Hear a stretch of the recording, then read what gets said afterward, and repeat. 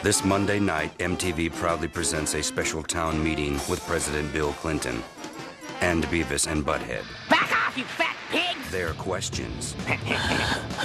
His answers. Your chance to see television history. One of the dumbest things ever shown on TV. A special two part episode of Beavis and Butthead and the President of the United States. Those guys are cool.